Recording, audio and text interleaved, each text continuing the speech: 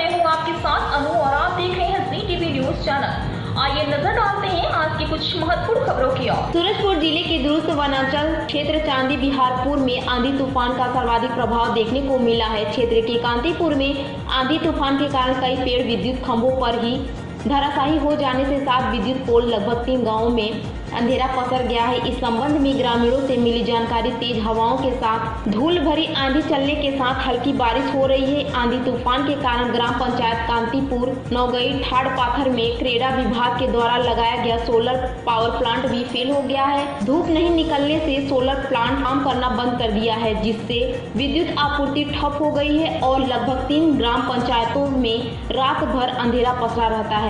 लोग उमस भरी गर्मी में रात गुजारने मजबूर हो रहे ग्रामीणों, विद्युत विभाग से जल्द मरम्मत कार्य शुरू करने की मांग की है, जिससे क्षेत्र में पुनः विद्युत व्यवस्था बहाल हो सके और उनको उमस भरी गर्मी और अंधेरे से मुक्ति मिल सके। पेश है सूरजपुर से पप्पू जायसवाल की खास रिपोर्ट।